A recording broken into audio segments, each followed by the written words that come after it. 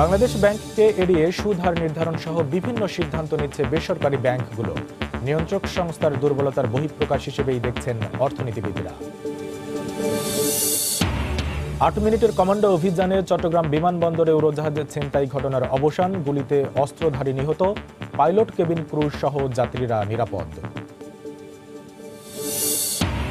চকবাজারে আগুনে হতাহতের ঘটনায় পালন করা হচ্ছে রাষ্ট্রীয় শোক। বিচার বিভাগীয় তদন্ত ও ক্ষতিপূরণ চেয়ে আলাদা তিনটি রিটের শুনানি আজ।